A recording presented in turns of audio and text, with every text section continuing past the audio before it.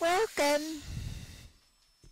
to the Quad Spot with Jessica Kennedy, the differently abled writer and speaker.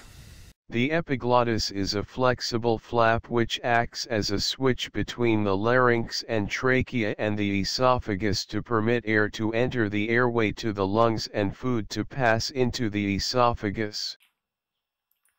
My body works differently because I get air through my neck instead of through my nose and mouth like most people.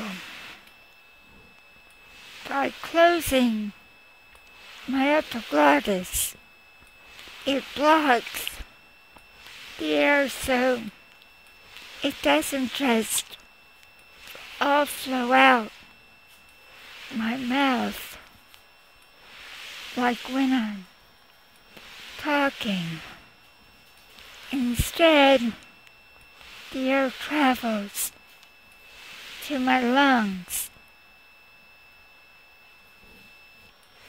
When I'm told I'm a little blue, it doesn't mean I'm sad.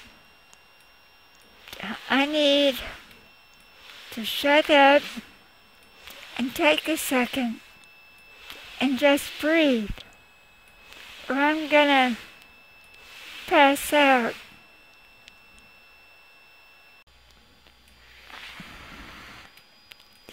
Thanks for watching. I hope this video has provided useful and interesting information.